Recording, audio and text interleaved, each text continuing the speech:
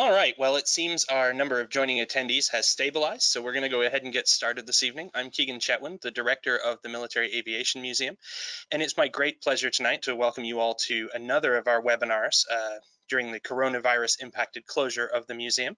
Uh, tonight, we are welcoming Brad Pilgrim, who is a fixture in the warbird community. Many of you have likely seen his Facebook posts or at least been impacted by research that he's done into either the B-29 or the B-24, uh, two particular areas of specific interest for him.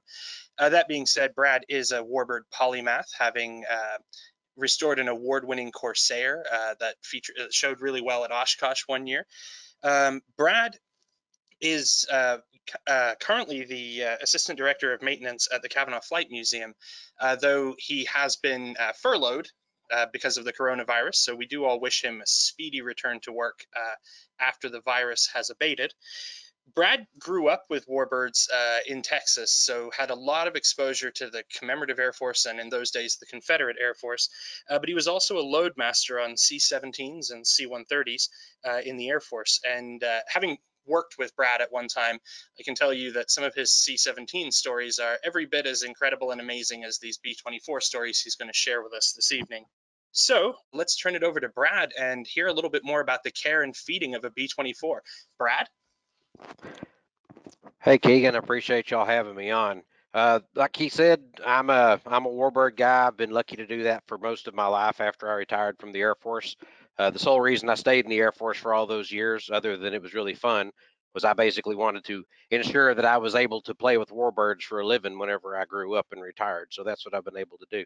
So tonight, this is going to be over the life and time of the world's oldest B-24 Liberator, which is Diamond Lil, belonging to the Commemorative Air Force. Now, this is not intended to be an overall history of the B-24, you know, or the different models. This is a story about a very specific airplane, this particular B-24, and it's an attempt to get the, the true story told about this airplane. There's a lot of people who um, just do not understand this airplane, do not understand where it came from, how it came to be, what it really is. Uh, the CAF is is part of the own their problem with with it because they've never uh, they've never really put all the research into form where you could actually access it. They've never really uh, corrected the misstatements very often. Another problem, quite honestly, was the Collins Foundation. They've made a living for over 20 years going around saying they've got the last liberator or whatever, and none of that was ever true. I don't blame the, the, the crew of the Collins Foundation. They're all good folks, and a lot of them fly for both organizations. It's just, uh, I guess it's just business at the end of the day. Uh, in the beginning, the XB-24 first flew on the 29th of December of 1939. The Army Air Corps ordered seven examples of the YB-24 prior to the fir first flight, and that order was revised to also include 38 B-24As. The YB-24 is the production version of the test aircraft. The French needed aircraft, bombers specifically, and they ordered either 120 to 175, depending on what source you use, in June of 1940 and the British asked for 135 to 164 of them in June, uh, later in June of 1940, because they knew that France was not going to last long against the Germans and that the UK would be the next target. The French surrendered, as we all know, uh, June 22nd of 1940, and the first liberators built at San Diego were for the RAF. The first six of the seven YB-24s meant for the Army Air Corps ended up with the British as the LB-30A slash Liberator 1. LB-30 is simply the the uh, you know the version of the aircraft that's being exported. Serial numbers for the British AM 258 through 263 never had U.S. serial numbers allocated to them. Technically speaking, only one YB-24 was built for the Army Air Corps in May of 41. The remaining six went on to serial numbers, at least, went on to become the first six B-24Ds. The first LB-30A arrived in the UK on March 14th of 41. These aircraft lack, lack self-sealing fuel tanks, armor, didn't have much in the way of defensive weapons. The RAF relegated him to a transport role, ferrying crews to the U.S. and and uh, to Canada. What does an LB-30 look like? And I know this all sounds like mumbo jumbo right now, but I, it'll all make sense here in a little bit. Um, what does an LB-30 look like? Well, that's that's an LB-30 right off the assembly line. That's actually one of the A models. So you can see it basically looks like a B-24 with a short nose and a lack of turrets. The RAF initially sent the coastal uh, their B-24s or their LB-30s to the Coastal Command for long-range U-boat patrol. Some are redesignated as the Liberator GR1 with the air-to-surface radar and four 20 millimeter cannons underneath the bomb bay in a pod, and some had stub wings so you could have up to eight three-inch rockets on them. From June of 41 to December of 43, 120 Squadron was credited with sinking five U-boats and damaging four. Three of those sinkings were by the same airplane. And some of the airplanes were used by the Ferry Command, and none of the 19 out of that original 20, none of that 19 that made it to the UK survived today. Um, the Ferry Command, what they were doing is whenever airplanes were being ferried over to the UK by Canadian pilots or US pilots or even some British pilots, these liberators that weren't being used for sub patrol were going and carrying them back to Canada and to the US so they could pick up more airplanes. So they were just making round robin trips. This is what a GR Mark 1 looks like. This is AM 910. And uh, you can see it's got the antenna array on top and then the gun pod down in the belly of it. And other than that, it's basically the same airplane that left. You can see the bomb bays on it, but it's other the, the same airplane that left left the U.S. Uh, the, remember the 38 B-24As that were for the Army Air Corps that I mentioned earlier? Those serial numbers there, 2349 through 2377, were allocated to those airplanes. 2369 through 2377 became nine RB-24As for the Army Air Corps. R means restricted. What that meant was they were not they were not suitable for overseas service in, in combat. Uh, serial numbers 40, 2349 through 2368 were released for purchase by the British. These B-24s that went to the UK as LB-30s originally they were not Lend-Lease airplanes. They were actually purchased and paid for in cash by the UK. Lend-Lease came along afterwards. Uh, the 20 airplanes of that order that were given to the RAF were serial numbers AM 910 through 929. 927, which is Diamond Lil, was the 18th airplane out of the order of those 20. So Diamond Lil is actually the 25th airplane built if you count the pre-production airplanes, the X model and all that. So Diamond Lil is the 25th airplane built. The US serial number 40-2366, along with the other 19 serial numbers not used by the RF, were later allocated to B-24Ds. B-24As, what happened to the B-24As that were going to the Army Air Corps? You can see there that most of them went into the Ferry Command due to being inadequate, like I was saying earlier, being restricted. This one particular in 2371 was pulled back for reconnaissance work and became the first B-24 destroyed in enemy action when it was destroyed at Pearl Harbor. And then 2270 was destroyed in Australia following the Japanese attack there in March of 42. 2374 carried Averell Harriman to uh, Moscow in 1941 for the big Lend-Lease conference that happened there. This is what a B-24A looks like. You know, I said there's LB-30s, then there's the B-24A.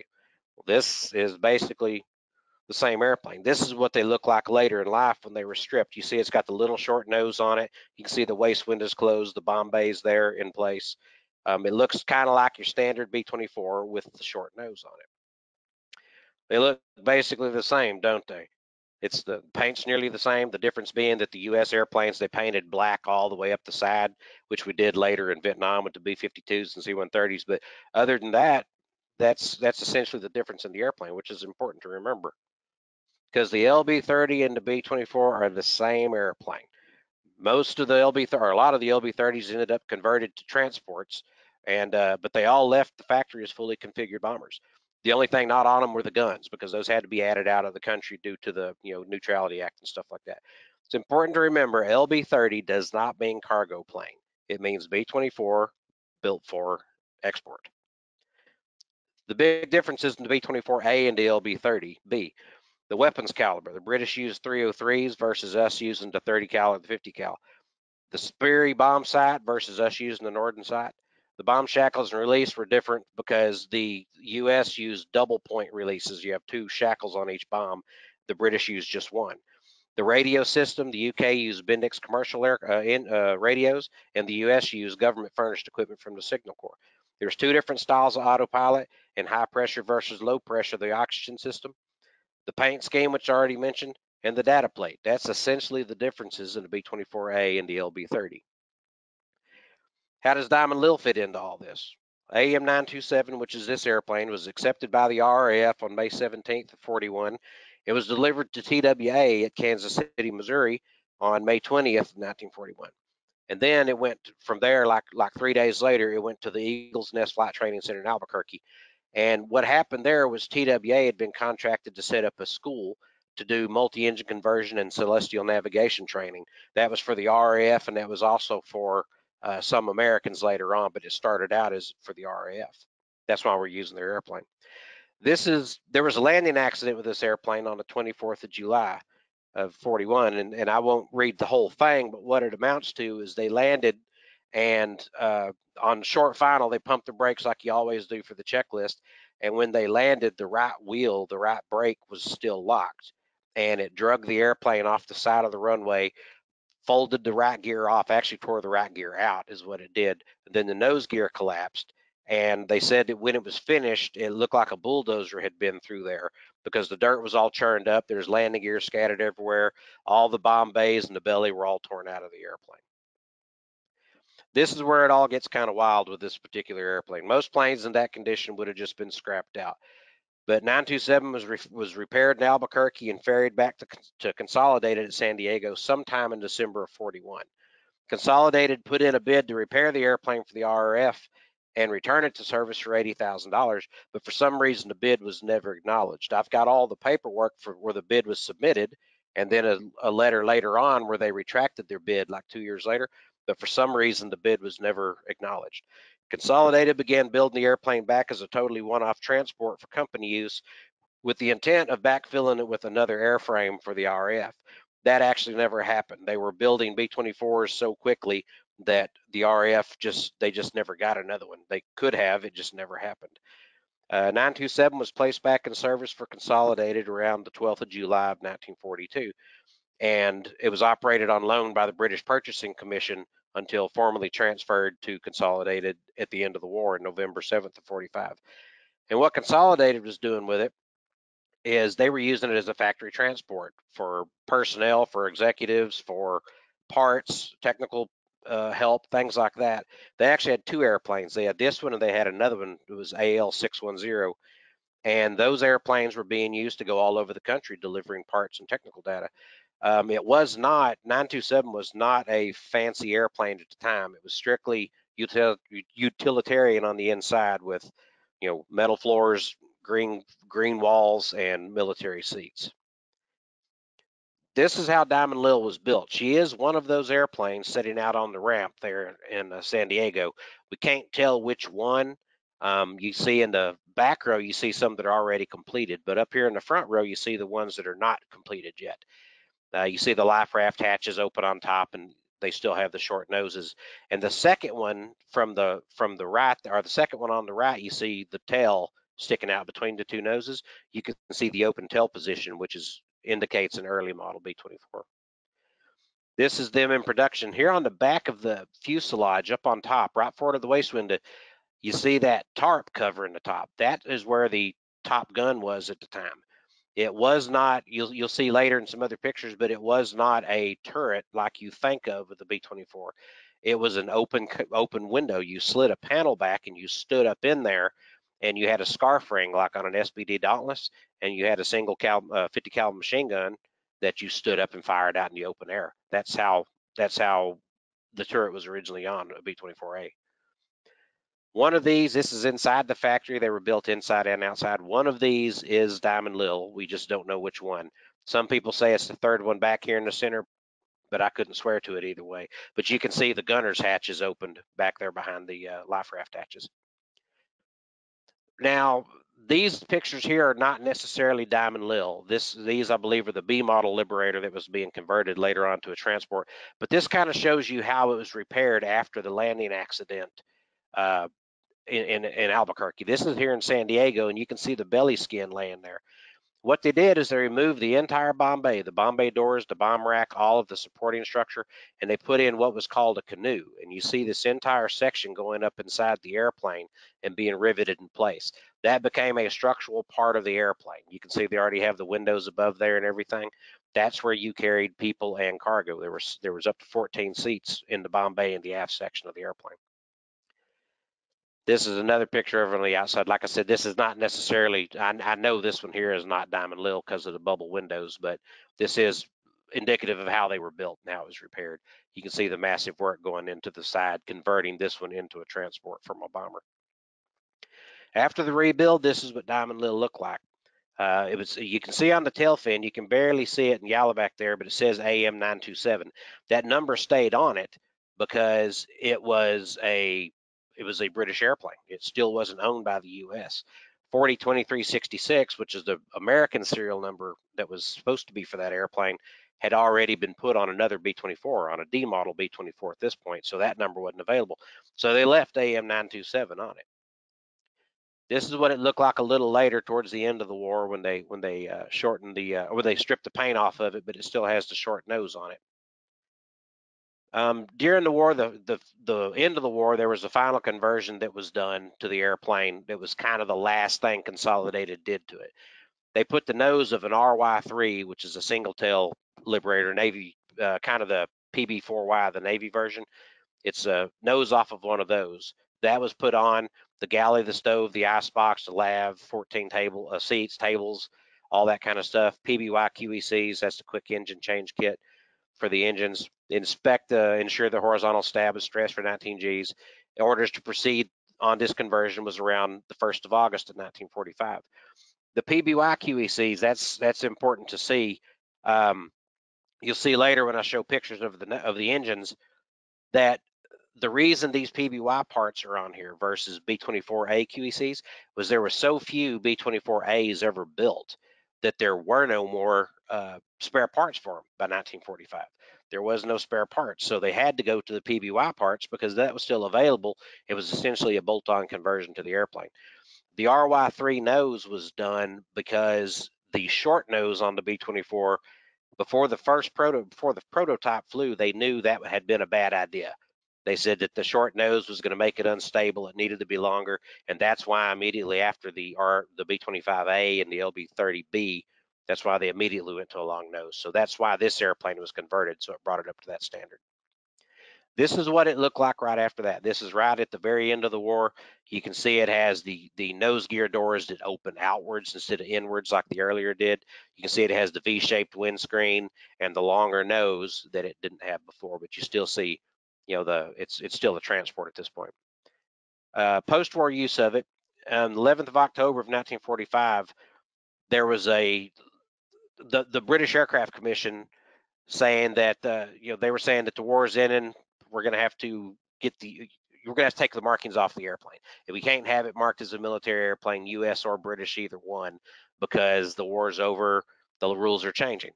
So in November of 45, the airplane was officially transferred to Consolidated, and I have the actual letter that was written from the British Aircraft Commission saying, okay, it's now your airplane.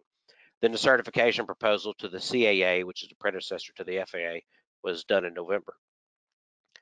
This right here is the application for the for the airworthiness certificate of the airplane. You can see that it shows RLB 30 up there as the model, up there in the, the second, third column down.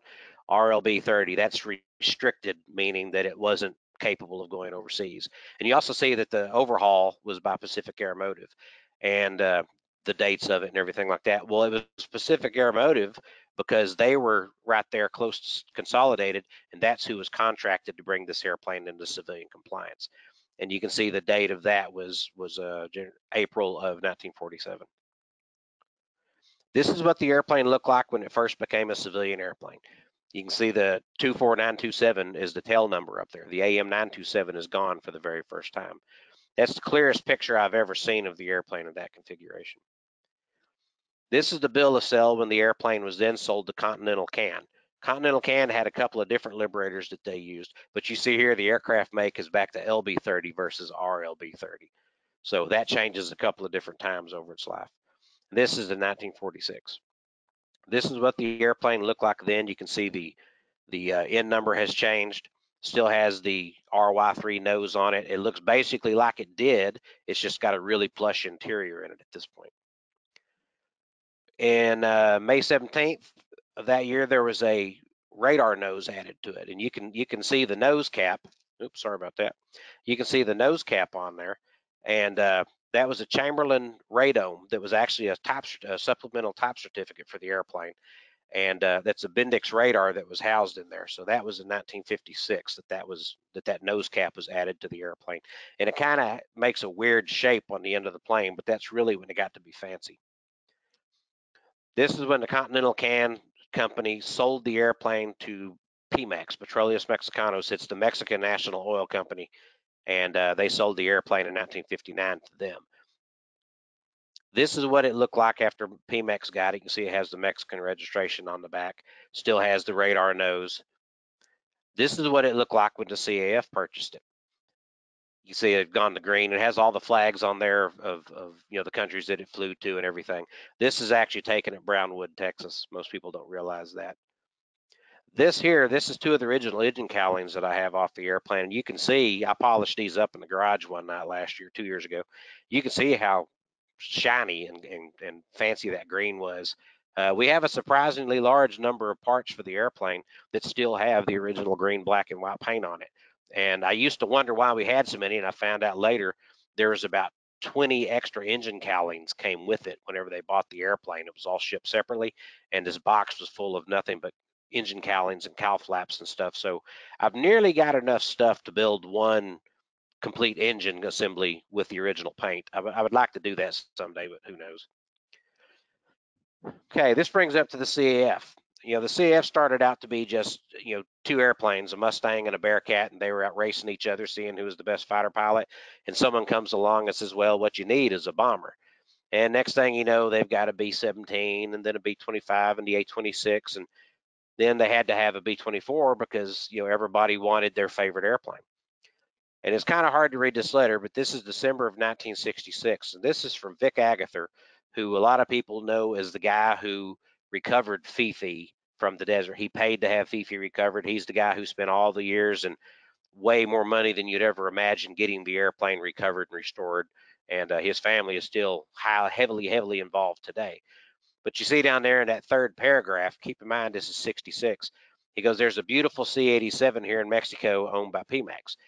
They don't want to dispose of it, but if if they do, it'll come at a very high cost. Their only hope is that it'll be replaced with a modern aircraft at a future date. So this is when the CF first learned about the airplane was in 1966. Well, 1967, and I know Keegan in, enjoyed seeing these pieces of paper when I originally found them. 1967, the CF struck a deal with Pemex to help them find a DC-6 in trade, partial trade for the B-24. In addition, we had to give them back the four engines that came with the airplane because they wanted those four engines for their C-47s because it's the same style engine. Well, they got the airplane. You can see here the date 1967. Pemex delivered the airplane up to up to Brownwood, Texas, and they went out to eat. And you can see the bar tab and everything else paid for by the CAF. This is all for the Pemex crew that brought the airplane in. And uh, the the deal was the CF didn't want to let go of the four engines because they didn't have any more engines to put on it, and so they worked it out to where if they could give them two zero time engines and two cores for a total of four engines, but two zero time flyable engines and two that could be overhauled, then they would consider that a trade. So what they did was they said, when y'all give us the engines, we'll give you the paperwork for the airplane. So you can see here we actually had the airplane in 1967. This is the letter where they're talking about uh, this is part of the letter. I don't know where the other half is, where they're talking about you know trading a DC6. I don't know that the DC6 deal ever happened. Um, I don't really know. The CF never said nothing else about it. This here, don't get upset if you're offended easily, but this is the uh, telegram that was sent April 21st 1967 from Lefty Gardner to Lloyd Nolen. It says B-24 mission completed, aircraft secured, Pemex aviators received, deceived, and relieved. Mexican mechanics and tools entombed in engine crates and shipped back to Mexico City. Due to heroic negotiation on the part of the first bomb wing, all engines are still in place. Bomb wing triumphs for fighter wing falters and fails. What that meant was they had managed to talk the guys out of leaving with the engines so that they still had them on the airplane. Well, it took until 1968. This is, this is the register, the bill of sale to the CAF from Pemex for the airplane, you can see it didn't happen until May of 1968. So that's when people assumed the CF acquired the airplane because that's when the title was legally transferred. But we actually had it in 67. We just didn't have the money to buy the engines. So they had to wait till they raised some. And they literally went down to the border crossing and traded the engines for all the paperwork that went along with the airplane. So that's kind of the story of how the CF wound up with it. This is what it looked like. They left it in Pemex colors and, and just wrote Confederate Air Force down the side of it and then later put a Confederate flag on the tail.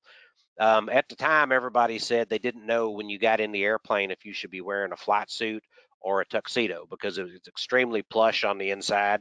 It was a very nice airplane. It was it was uh, you know luxurious for the time frame. It was basically you know a, a uh, piston powered Learjet at the time. Had very updated avionics. Still had the radar, all that kind of stuff in it. You can see over here on the right and the lower, you can see the interior of, it's not a very good picture, you can see the interior of it. It was pretty plush. And this is when the CAF was going to take the B-24 up to Wright-Patterson Air Force Base in Dayton, Ohio for an air show. It was the first time the CAF had ever gone anywhere with the airplane. And I think this was in 1968, right after right after the airplane had, had uh, been licensed by the CAF. You can see up in that top picture the Confederate flag on the tail fin. 1971, they started repainting the CF airplanes in the military colors. And there's a guy in San Angelo, Texas named Charlie Day, who all these airplanes are painted here. He's the one who did that. And you can see Diamond Lil on the top right. That's what they painted her into. It's uh, you know African scheme basically from the Ploesti uh, raid. I can't remember the bomb group, 98 bomb group or whatever it was.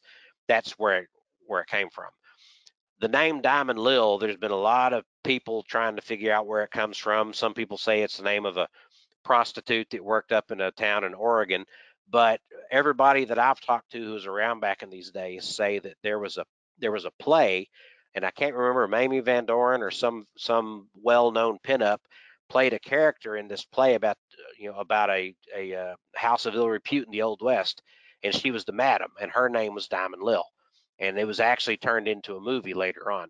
Everybody seems to agree that that's where the the name actually came from. It wasn't actually from a madam in a house of ill repute. It was from this movie. It was a character, but that's supposedly where it came from. The nose art was inspired by the Vargas nose art, and this particular one, I believe, was out of a 1969 edition of Playboy. This is where the art had to have come from, and it's certainly the art that we've based it on since then. So this is uh, this is about the second iteration of nose art on the B24 when it was still painted in the tan and blue. Um, over the years, it was repainted a couple of times, sometimes a little better than others, sometimes not as nice. In 1981, May 1st of 1981, the radar nose was finally taken off and this D model nose was installed on the airplane. And that nose came by way of Dave Tallichet.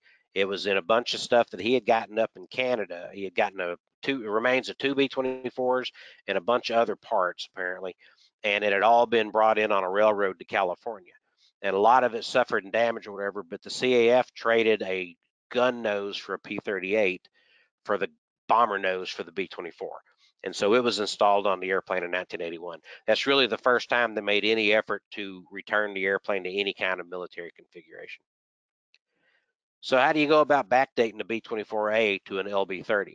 that's what the idea was. There was, you know, the CF was having all kind of trouble in the in the early 70s with people coming to visit the airplane and having to pay two dollars to tour it, and then them getting mad and write letters to headquarters saying, you know, I flew B-24s in the war. That's not a B-24. I don't know what kind of airplane it is, but it doesn't have the gun turrets. It doesn't have bomb bays. It's fancy on the inside. So there was a lot of trouble with it, and that's kind of where nobody really knew what an LB-30 was uh, nobody really knew what a B24A was. They just knew this didn't look like your standard B24. So I can't remember the exact year. I want to say around 2005 or something like that. We started converting the airplane as close as we could back to a LB30B slash B24A configuration. You can see the nose art was taken off. This whole thing was ramrodded by a guy named Gary Austin, who was a really good friend of mine and he was the crew chief for the B-29, B-24 squadron at the time. Back then, Fifi had been grounded for couple of years at this point because we had lost, you know, we didn't have any more good engines to use. We didn't have the money to get the new engines on the airplane that we have on there today, so the airplane was kind of stuck. So they spent money to convert Diamond Lil back in order to make it a little more popular and try to make a little more money off of it. This all happened down in Midland, Texas when CF headquarters was there. Some things just can't be changed. It's all time and money. That's what it takes to convert a B-24, you know, back to a B-24 from a executive transport. The nose, the nose will probably never change. You can see on the left, the little short B-24A nose that was not a good idea to begin with and no one ever liked it and it changed in production later. Well, the way the nose is scabbed on the Diamond Lil, it was done at the company on the factory jigs. So you really couldn't, even if you had a B-24A nose section to put on, it would nearly be impossible to attach it to the airplane without totally changing everything on the front end. So it's just not a, it's not even a practical idea. So the chances of it ever happening are non-existent. That's one thing that would probably stay. And you would want to change it anyway due to the fact that they were so unstable with the short noses. And I mentioned earlier the the nose on the airplane is actually alpha of an RY3. That's an RY3 on the right. You can see it's the tall tail version of a Liberator. The PB4Y, which is the actual Navy version, is a little different than that. But you see the writing on the, the metal there, RY338, that was actually under the paint uh, on the floor of the B-24 when we started this conversion. So that proved it was an RY3 nose. The engine cowlings. I mentioned earlier that the engines in the QECs were changed over to a uh, PBY system. If you look at it, you see where the exhaust exits out the top, and then it's got the little scoop in the front of the, the carb scoop there in the front. Then you see the oil cooler on the bottom. You can see at the PBY on the right side there, it's the exact same system. Firewall forward, it is a PBY Catalina. This picture here is the original B24A in uh, exhaust system and all that. If you look, it's kind of hard to see, but there on the side of the cowling where the exhaust streak is, you can see where the exhaust comes out there. That's essentially what the difference is, the location of the oil cooler and where the exhaust comes out of the aircraft. Other than that, the engine, the prop, the cowling is basically the same. So it's really not practical to change that. Even if you could find all the original A model B24 components, it would be I don't know that it would even be practical to do it, but that is one thing that maybe you could change in the future. This airplane originally had a flight engineer. Um, he sat on the facing backwards behind the pilot on the left side of the airplane. Um, that entire thing is gone now, and the hydraulic system is where that panel was. There's really no need to have that panel there. It would look neat, and we've talked about mocking one up, but to get all that stuff hooked up and wired in would really be uh, more of an exercise and would be practical. So that would probably never be done again. And then the interior, this is what I think is really interesting. On the left, that's AM923, which was built for airplanes before Diamond Lil. It's got the same kind of yokes that the PBY Catalina does. You see the gun sight up in the left corner in front of the pilot. Keep in mind, this is a British airplane used for sinking submarines, so that was for firing those cannons. But look at the throttle handles. They look totally different than a standard B24 handle. You can see number three is pulled back but you can see that they they are like B17 throttles if you know what those look like. So if you look around the right, this is kind of an older picture of what Diamond Lil's interior looks like. It's got a little better avionics and stuff now, but the two don't even look alike. We've got the later model B25 wheels and all that control yokes in there. That was all done by Consolidated. So it would be nice to put PBY yokes back in it maybe someday, but I don't know that that'll ever happen. But you see even the square behind the yokes, the, the where it goes in the instrument panel. On the other airplane, the old one, it's a triangle. See, it's it's a totally different cockpit on the front because this is an RY3 nose on the airplane. This is one of the more interesting parts that we can we will be able to fix someday, maybe. See right there above those three windows on the side of the airplane, right behind the wing. See, there's a machine gun sticking out of the top. I said earlier that early model B-24s had a hatch on top with a Scarff ring in them. They didn't have a turret like a standard B-24. You can look right there, and this is about the best picture I've ever seen of it, and, it, and it's not very clear. But you can see here on the left that that gun is up on the ring outside of the airplane. That's what Diamond Lil originally had. This picture on the right, just in, for, in front of that rail where the antennas are mounted, you see the the hatch there. That's the hatch that slides forward. On Diamond Lil, when she was converted to an executive plane by the company, that was removed and skinned over completely. You can't even see the outline from the outside. But on the inside of the airplane, the ring is still there where you would mount the Scarff ring and all that. So all that is still there. The problem is when it was converted to a transport, all the control cables that used to run down the sides of the airplane, most of them were routed over the roof so that they could put a door in the side. The problem with that is those cables go right over that hatch where that hatch would be. So if we were ever able to reroute those control cables, which would be a major deal, we could put that gun back in there. But the ring, I'm sorry, I don't have a picture of the ring. I thought I did and I couldn't find it. Um, but the ring to mount that is, is still on the airplane. This is the inside of the bomb bay. You saw in the pictures earlier how it was all put together. This is standing forward looking back. Well, that whole canoe section, that entire floor section, would have to come out and a beam down the center and then your side racks and everything. And you can see the windows there as well. The practicality of replacing that and putting the bomb bay doors back in, the practicality is just not very high. The possibility is high, but so is the cost of doing it. So what we have now, you can see on the on the left, we've got the bomb racks in the airplane. We have bombs hanging in it and everything like that. And it's a good mock-up on the inside, but we don't actually have the doors. On the right side, you can see what the bomb racks and all look like.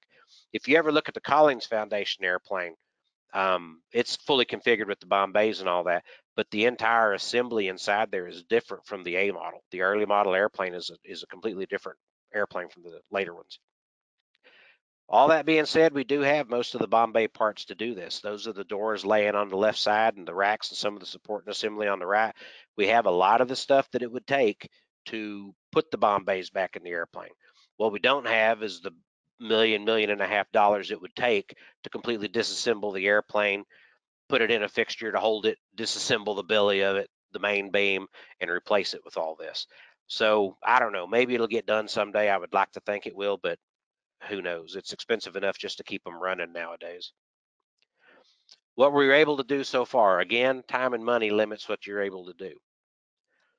The tail of the airplane. You can see on the left, this is what the tail looked like whenever it was converted to a cargo airplane. That was just a just a pod put on the end of it. It didn't open up or anything like that. They could store stuff back there. On the right, you can see what it looks like there on the lower end when it was drilled apart. Up above there, you can see what the A model Liberator turrets look like. It's just an opening. It just slides open and has a single machine gun that sticks out. Well, this is in progress. This is what they were, you know, Gary Austin, he was such a smart guy. This is what he was doing to to uh, replicate this. You can see where the tracks are in the side there in the in the tan. You can see where the tracks for the sliding portion of the doors that come back. But the lower green part, the the part that's got the zinc chromate primer on it, that's the the pod that the gun bolts to. And when Gary was trying to build this, he tried two or three times to build something and it just wasn't going to work with the compound curves and all that. And one day we were walking along out there in, in the uh, CAF uh, parts building, and he found a spinner to a Heinkel that had a big dent in one end of it. I mean, it was it looked like someone had ran into it with a golf cart. And what Gary did was he cut that in half and then took the good half, split it down the middle, and bent it to where it fit, and that's what became this gun pod on the back of the airplane. So that's actually a Spanish Heinkel prop prop spinner that is now where that gun is sitting. Uh, you see up there the, the, machine gun on the left side that's installed. There's that canvas seat. That's what you set in in this airplane. You didn't have a turret to sit in like people think of. And on the right, you see the guy, dead-eyed Pete there aiming his gun. You can see the, the doors slid back and everything. So that was all replicated on this airplane. That's what it looks like from the outside. The waist windows. That's the waist window of the of the B-24, and then on the right side, you can see where the waist window frame was still there when it was converted to a cargo plane. So what Gary did is he took all that out, opened that window back up, and put a waist window with the waist gun in the right side of the airplane. And this is what it looks like now. We don't have one in the left side because that's where the door is, and we'll get to that in just a second. But uh, so he did put that in there. You can see here on the left, this is Diamond Lil in, in 1968. Incidentally, that's the B-26 Marauder underneath it just to the right, which is kind of interesting. But you see the big side, the door is open on the side of the airplane. Um, that's why the control cables were rerouted. And that's also where the left side waist window was supposed to be. Well, if you look at this picture on the right side, right behind the landing gear, you see that little bitty hatch in the belly? That's how you got in and out of the B-24A slash LB-30. And so the CAF B-29, B-24 squadron made the decision to, instead of converting it back to a left side waist window, they were going to leave that door in it because that other door on the right was going to be too hard for elderly people to get in and out of now, you know, and people the size they are nowadays wouldn't be able to get in and out of there. So from a practicality standpoint, they left that big side door in it that was added when it became a cargo plane. This B-24, this early model ones, they didn't have a lower turret. In fact, it wasn't until I think midway through the D model B-24 that the ball turret was added on. They had just basically a, a tunnel gun, is what they called it. It was a 50 cal that locked into a socket and fired through the belly of the airplane. And you can see on the left, that's what it originally looked like. And on the right, that's where Gary added one in there. The framing was still there from it originally. It had just been all skinned over from when it was converted to a transport. So after that, we decided on a new name and a new paint job to make the airplane a little bit more, you know, a little bit more pizzazz, a little bit more presence. And the the name and the nose art, Old 927, were chosen and painted on by a guy named Chad Hill, who did an, uh, an amazing job on it. Um, the old 927 name, where it came from, was when the airplane was being used by by Continental or by Consolidated back and forth across the country to all the consolidated plants. They referred to the airplanes by their tail numbers. And there's one letter in CF records where someone referred to it as old 927. I don't believe that that airplane was ever known by that because in the Air Force, we referred to airplanes by their tail numbers. And like, you know, if it had two zeros and a four eight, it was balls four eight, and then triple six if it was three sixes, or triple nickel if it was three fives. You referred to the airplanes, you know, with their pet names by, by the tail numbers a lot of the time. And I don't know that 927 was ever an official or even unofficial nickname. I think it's just something people referred to the airplane to to uh, separate it from AL 610, which would have been called old 610, uh, 610. I don't know, but that's that's where the name old 927 came from. That's the nose art on it. That's uh, what it looked like. We didn't keep that, but just a couple of years, and we changed it back to Diamond Lil. And the reason being uh, tradition mostly. Um, the plane had always been Diamond Lil. That's what it was known as. It wasn't famous being a warbird for you know with another name. It was famous for being Diamond Lil. And so the squadron voted to return to that name and new nose art, and we also put the neutrality flags on the side. Big problem was people were always asking us, what happened to Diamond Lil? Where'd Diamond Lil go? Did y'all get another B-24? You know, people were saying they'd seen 927 and Diamond Lil at the same place. You know, it just, it was a marketing exercise that didn't work. No one, no one cared that it was called 927. So that's why we went back to 92, uh, back to Diamond Lil. I personally would go back to the pink paint too. I just like that traditional. So this is what the airplane looks like today. Um, we've done what we can to get it back in its original shape. It'll never be exactly what it was, but it doesn't matter what what you do. Someone's going to complain if you convert it from an LB30B all the way back to a B-24A bomber. Someone's going to say, "Well, that's not original." So it doesn't matter what you do. Someone's going to be mad. Common misconceptions about the airplane was that it was never accepted by the RAF. That is false. We have the supplier's invoice, the exportation doc, uh, declaration, the RAF contractor's advice and inspection note signed by AR Blair for the British Purchasing Commission, and the aircraft packing list from Consolidated. So that's proof that the airplane was accepted by the RAF. It was never delivered to the RAF overseas, but it it it did belong to the RAF. And uh, the other one is the biggest one is this people say it never came out of the factory as a transport and it never was a bomber. Even members of the CAF general staff and in the past, one of the executive directors even pushed out a policy letter saying that the airplane had been built from the factory as a transport. And that is not the truth. Here's the invoice for the airplane. And uh, you can see right there in the highlighted section, it says LB30 manufacturer serial number 18, uh, RAF serial number AM927. And then down there where the star is, says supply and install 1232R 199 bomb shackles. That there proves, along with the letter describing the accident where the bomb bay doors were torn off, those two things prove that the airplane came out of the factory as a bomber fully configured. What exactly is Diamond Lil? What model is she? She's not a C-87. The prototype C-87 was the B-24D, that's the serial number 40355, that had a belly landing in Arizona in 1942. It was torn up a lot like Diamond Lil was.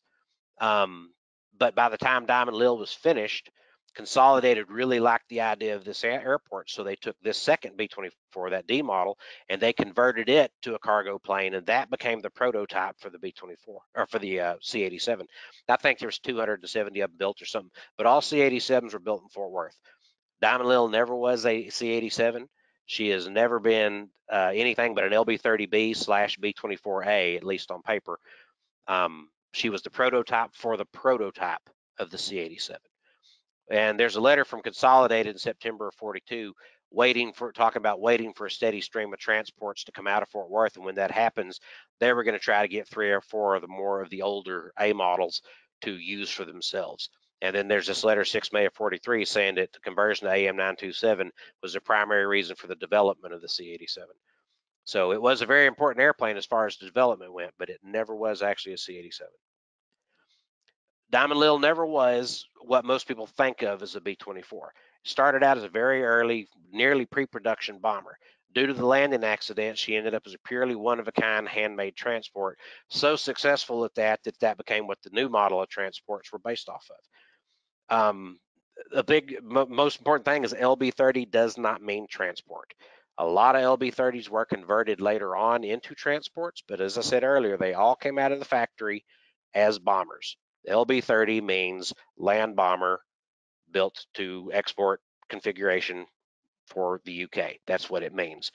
Um, Diamond Lil never had the round engine cowling, or uh, never had the oval engine cowlings that people associate with B-24s. It never had the powered tail turret, and the top turret that people think of when they think of B-24s.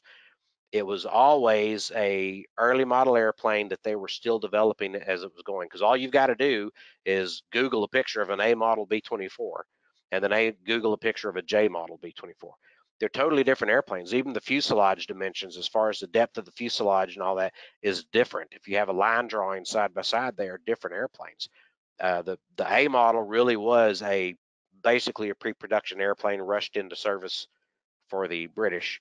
Uh, it never was what people can think of as a B-24. So even if we restored it to the condition it was in the day it left the factory, whether it was British markings or American markings, it still would not look like what people think of as a B-24 other than the double tail fins and the four engines. So I know a lot of that's confusing. I know a lot of the serial numbers and all that kind of stuff kind of jumbled together and I went kind of fast, but it's really an interesting airplane. And I, I think, you know, people have used the word LB30 over the years, basically in a condescending manner. The Collins Foundation guys do it. Oh, well, that's, that's the LB30 you're talking about. Well, one interesting thing about it is because the airplane was the first B-24 certified for civilian use. The reason that it has the serial number AM927 instead of the original military serial number, as I mentioned earlier, that those serial numbers that were canceled when they went to the UK, those American serial numbers later wound up on early production D model Liberators. The B-24D that wound up with Diamond Lil's original 402366 serial number survived the war and ended up being scrapped later on, being used as a trainer. But because that serial number wasn't available when the airplane was certified to the to the civil aviation standards, they went with the serial number AM927 because that's what it still had. That's why it was still called an LB30 because that's what was on the paperwork.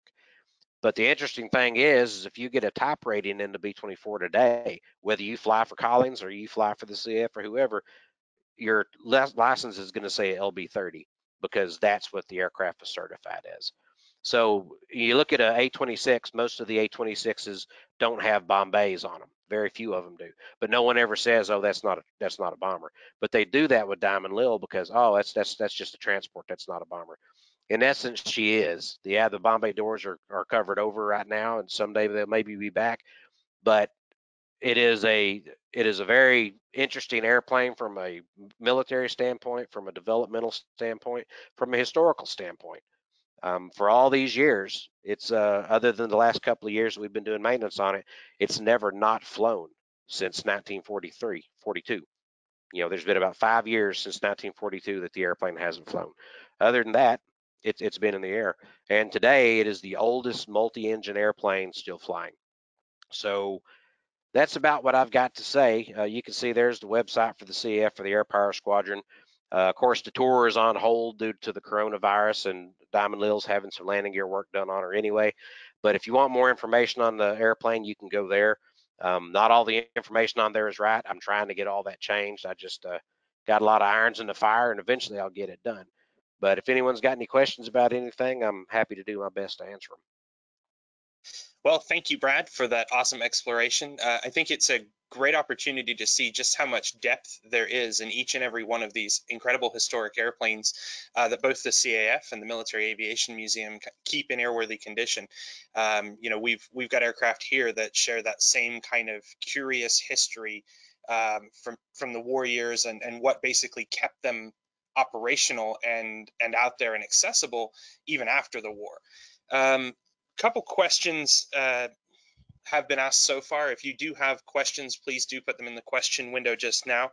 Brad, I'll ask you a couple uh, just to give people a chance to do that. Um, one of the things that I think is really interesting about the uh, bomb bay doors on a B-24 that not many people know is that how they roll up the outside of the fuselage. Can you maybe talk a little bit about uh, what that would actually look like if installed on the airplane? Yeah, if you if you look at a B-17 or a B-25 or anything like that, the bomb bay doors, whenever they open up, you know, they fare in the belly of the airplane is what they do. Whenever they open up, they are hanging from the bottom of the plane and are extended into the slipstream. On the B-24, they don't do that, and the B-32 Dominator was the same way. The landing gear or the, the uh, bomb bay has little electric motors in there that have cogs on them like an ammunition feed motor in a gun turret. And what happens is whenever you open the bomb bay doors, those roll and it's basically like a bicycle chain. It rolls the doors open and they roll up the side of the fuselage. They they actually flex and they go from the belly of the airplane up around the curvature of the fuselage up to the sides. So uh, there's there's a little bit of a of an airspeed penalty when you open anything on a bomber on a bomber, but with them opening sideways like that, there's no ground clearance issues or anything because the B-24 sets really closely to the ground if you've ever seen one, and uh, they could walk into the bomb bay nearly from the side versus the B-17 that you had to stand up in it. But basically, they roll around the side of the airplane and become part of the side of the fuselage. And then whenever you close them, they roll back down. They never hang out into the slipstream. They just roll back into position and lock shut, just like a bicycle chain. Okay, another question we've got for you here. Um, besides Diamond Lil, uh, how many B-24s are still around? And uh, if you can, separate them by flying versus uh, perhaps static. The I, I think there's about I don't know the exact number off my head to be quite honest, but I think there's about 10 or 12 that are what you would consider complete B-24s, you know, displayable B-24s. The CAF airplane is capable of flying. The Collins Foundation airplane is capable of flying. And then Kermit Weeks down in Florida, he's got an absolutely beautiful B-24J, but uh, and it is capable of flying, but it hasn't flown in probably 20 years. But and it needs a lot of work to get it flying but you could roll that airplane out and have it you, you could have it in the air in a year you would need to spend a lot more time to make it really nice but you could have it flying in a year other than that i think there's about 15 wrecks that are known of but as far as flying ones those those three the caf collins foundation and kermit weeks those are the only three that are likely to ever fly again Okay, and we've got a question here. Um, Consolidated obviously had a major presence in San Diego. Uh, the factory is still there where they built the B-24s. You can go see it. Um, it's now a DARPA facility. Um, there is uh, there is also Consolidated's big facility in Fort Worth, uh, which is near and dear to your heart. Uh, you know, being that you're in Dallas. Um, can you talk a little bit about other locations where B-24s were built? Obviously, Willow Run uh, sticks out as, as a major engineering accomplishment during the war. Yeah, B-24s were built. In, they were built in San Diego. They were built in Fort Worth. There was a few built in Dallas, and then Willow Run, like you mentioned, I think there might have been one other. Willow Run was was Ford Motor Company, and uh, I think if they didn't turn out the most B-24s, they came in second. Um, they they turned out a lot of B-24s, and I believe what they had was assembly lines side by side. So you had airplanes going two at a time down the road, or you know down the assembly line and coming out. And uh, I've always heard that the building actually had a left hook to it, you know, left-hand turn, because if it would have kept going straight, it would have gone into another county. And so it had a sharp left turn on turntables where the airplanes didn't change counties. And supposedly that's because Henry Ford didn't like the tax situation of those counties. Whether that's true or not, I'm not exactly sure. Um, but the B 24, interestingly enough, to only be two of them flyable and the third possibly flying, It was the most produced American military airplane of all time. And it may very well be the most produced four engine airplane of all time. I'm not sure. There was over 18,000 of them built, anywhere between 18,188 to 18,700. But it's, it's, it's really kind of sad that out of over 18,000 of them built at four or five different locations, there's so few of them left flying or otherwise. Yeah, you mentioned Dallas. I mean, that was a, a, really interesting thing. North American Aviation built them there in Dallas at what uh, later became NAS Dallas. Um, it's really kind of an interesting thing because people typically think that's a typo. They think North American built B-25s, but they did also, for a limited period, build a handful of, of B-24s. Um, we've got a question here about the ASW uh, Maritime Patrol versions of the B-24. Um, I think Perhaps the question relates to the flyability or existence of any of the PB4Ys. There's there is one PB4Y that is still flying today, and it's out in Arizona. Uh, some really nice folks own it that are that have been very helpful to Diamond Lil over the years. Uh, really good folks. Um, and it's that's basically set up in its last configuration as Coast Guard in the Coast Guard. It doesn't have any of the armament on it. Instead of having the turrets into the side, it has the observation windows and all that. It's a really neat airplane. Um, it came from Hawkins and Powers Aviation out in Montana. They had seven or eight of them they were using as fire bombers. And unfortunately, over 20 years ago, there was a PB4Y that had a wing separation uh, during a firefighting uh, maneuver and it was something that broke that had been milled into the spar in 1943. You know, it was something that had been there all these years, and it finally just chose that moment to fail.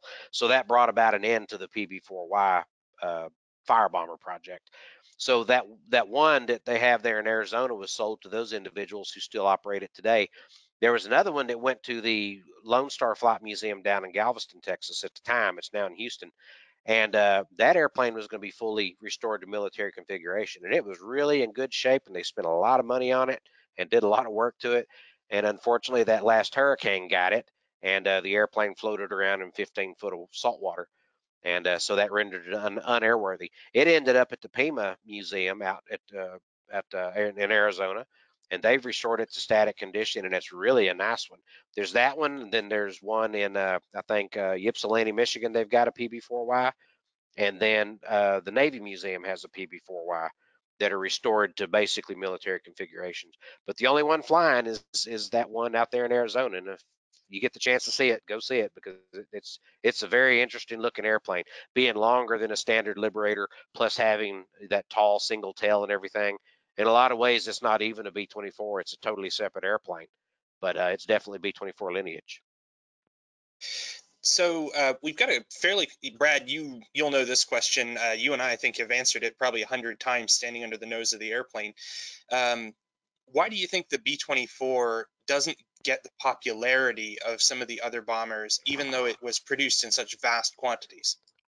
The B-24, um, well, it, it didn't have the publicity machine that Boeing had. That's that's essentially what made the B-17 such a famous airplane. Don't get me wrong, B-17 is a wonderful machine, and anybody who says it ain't's a liar. But uh, the B-17 was a publicity monster. It was pushed by Boeing's PR department. Consolidated never really did that. And uh, you know, they you you'll read a lot of times that it was referred to by B-17 crews as the box the B-17 came in and uh, it just was kind of an ungainly airplane. It wasn't quite as pretty to most people, but basically it was a PR thing. Um, B-24 was, was an exceptional bomber. Um, it could fly. It couldn't fly as high as the B-17, but it could carry more for farther and faster. Just not as high as the B-17, but it was every bit as good.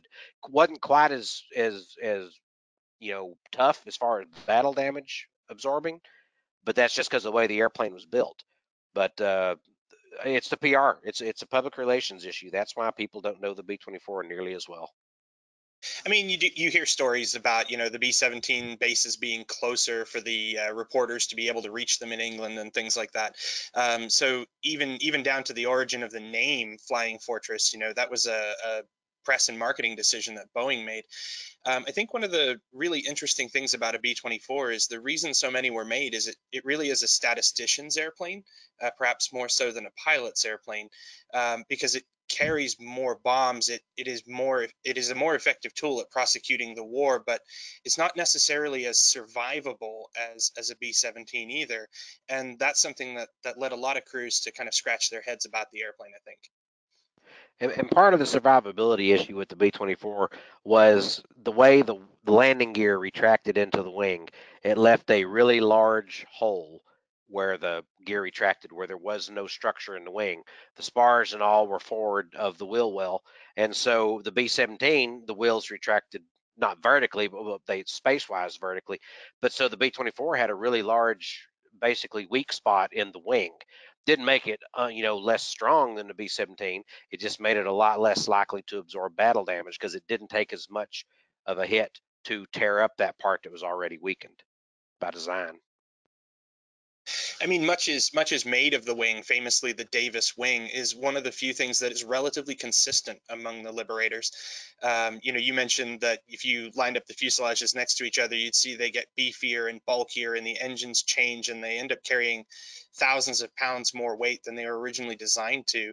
Um, and it's it's one of the things I think that when you see a B-24 in person the first time, you're actually dumbstruck by just how long that wingspan really is. Can you talk a little bit about the wing, Brad? It's basically the same kind of wing the B-29 has. It's got a fairly narrow chord, meaning leading edge to trailing edge. It's fairly narrow. It's really high lift in the center, so it's kind of an odd shape if you stand at the wingtip and look towards the root. But it uh, you know the, the design of it was miraculous. It was the first airplane to fly with that particular wing design, but it essentially allowed you to have a higher wing loading on the airplane with less wing space and being able to carry a heavier load.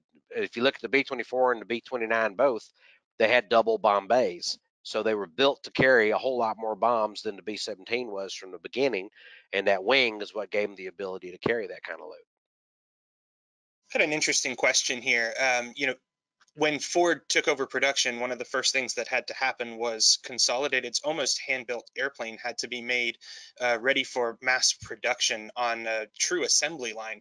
And uh, can you talk a little bit about the quality and uh, quality of parts and interchangeability that that Diamond Lil has with some of the later model Liberators? Like, just how many parts is it really possible to reuse, if any? On Diamond Lil, you you can change more parts with another B24 than you could a standard B24A slash LB30B. The reason being, the airplane has had so many improvements made to it over the years. The entire nose is a later airplane. The interior is is is stripped. All the military equipment's gone out of it. The landing gear and stuff has been overhauled and changed out over the years. But we found with like the landing gear trunnion, the parts that we're having repaired today, um, there's six different part numbers for the landing gear trunnion. They all look the same, and I think about four of them will actually fit any position, but the other two will only fit one particular airplane. Diamond Lil's got a lot of parts, like some of the hydraulics out of it are actually B-17 pumps and stuff like that, because it's just it, they just needed a pump to put in it, you know, and that's what got put in. And uh, consolidated when they built the airplane back up as their own personal transport after the war, they didn't exactly worry about keeping consolidated parts on it. So in some respects, you know, the, the, the engines and engine cowlings and all that, exhaust, none of that's interchangeable with the B-24. The control surfaces, they the, the tail control surfaces are all interchangeable. The ailerons are not, the flaps are, um, the propellers are, um, uh, the weapons and stuff like that, if you don't count the turrets, that stuff's interchangeable but a lot there is still a few pieces in there once in a while that that are a model pieces that were handmade.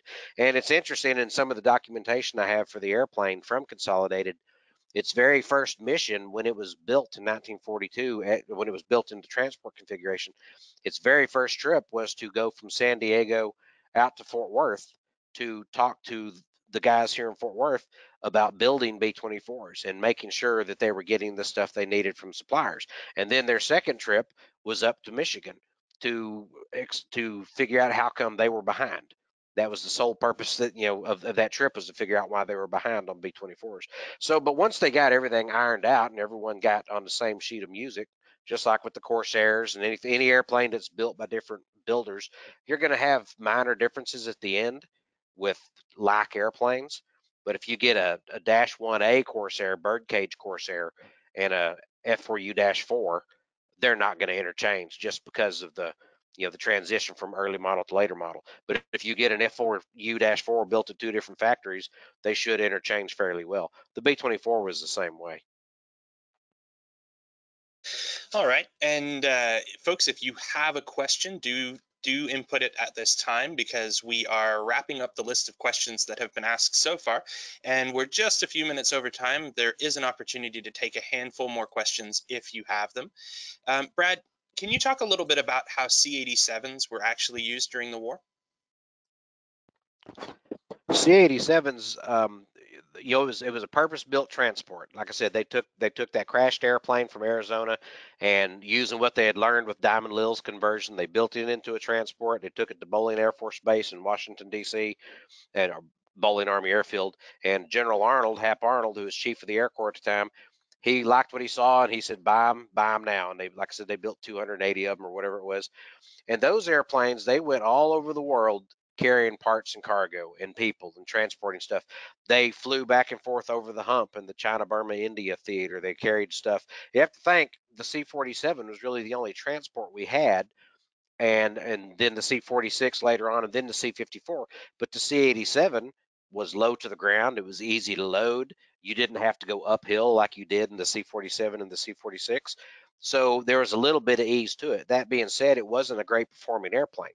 Um, they had a lot of trouble with it in China and India where it was so hot and humid, where they'd really load those airplanes up heavily with parts and, and people, and uh, they would you know struggle to get off the ground. And if you read the crash reports from the LB-30s in in that part of the world, they're most of them involve a pretty high loss of life because they had them just loaded down with cargo, and one of them had 22 people in it, and so it was it was a transport. This is long before the C-130 and the C-5 and the C-17 and stuff like that. Everything that went over the hump into into China from India, most of it, you know, it all went in airplanes early in the war, but most of it came in in, in LB-30s or in C-87s. LB-30s had been convert, converted to cargo. Um, later B-24s were converted to the C-109, which is a flying gas tank, and those were not popular with the crews at all from the guys I've talked to. But the B-24 did basically every every mission that a, that a multi-engine airplane could do, and the hump missions would have been a lot harder, and that part of the war would have turned out quite a bit different had they not had the C-87 for that mission. All right, and uh, onto the sort of multi-role and unusual mission category for B-24s. Uh, this will be our last question for the evening, Brad. Um, it relates to the closing of the Mid-Atlantic Gap uh, using B-24s as long-range patrol airplanes. Uh, was it kind of an always intended function for the B-24 to have this, uh, you know, maritime utility, or was it uh, something that it kind of accidentally found it, it's, you know, one of its callings doing? I think it wound up mostly being a function of the range. The airplane was designed to be long range because that's what you wanted was the ability to go a long way and drop a bomb on someone. But just like a PBY, anything with a long range suddenly becomes great at maritime use because you can go out and loiter.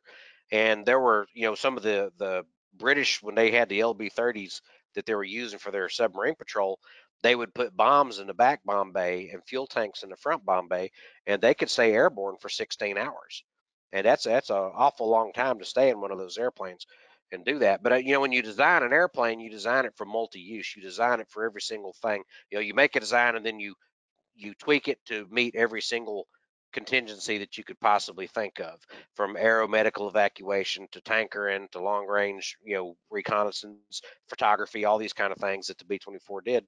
And so I don't think it was designed solely with the idea of, hey, we can go do this long range you know scouting mission. It just wound up, hey, you need a plane to do the long range scouting. Guess what? This thing can fly 16 hours. Oh, that's great. So I think it it kind of wound up being it just kind of fell into that position. I don't think it was built that way. It just was one of those things and it was such a great flexible design that it ended up working well for that particular mission. Excellent. Well, that concludes uh, the sort of active flow of questions, and uh, you've answered all of them, Brad. So uh, thank you very much again for your time this evening and for spending it with us and sharing the incredible story of Diamond Lil. Um, we hope to have you back at some point to uh, share some of your new research and findings on the history of the CAF's B-29. I'd be happy to. I appreciate you having me on. Alrighty, and uh, that does conclude our presentation for this evening. Again, I'm Keegan Chetwynd, the director of the Military Aviation Museum. That concludes our program for this evening. Thank you all so much for attending, and we look forward to being able to uh, hopefully have Brad down here and host him at the museum and have him come take a look at some of our project airplanes.